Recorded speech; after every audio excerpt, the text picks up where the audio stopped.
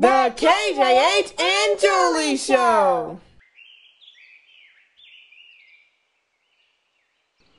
I guess this looks like a good spot to go camping. What can we do around here? I guess we pull out our tents and then we set campfire. When are we going to see the teddy bears? I don't know, but I'm sure that they are hiding or something. They normally throw a surprise party when people come over.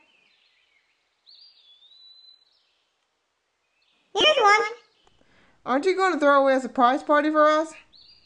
Surprise, everyone! I'm Teddy the teddy bear. That's great, Teddy. I'm KJH the filmmaker slash artist. And I'm Joy the doll. Hi there, KJH.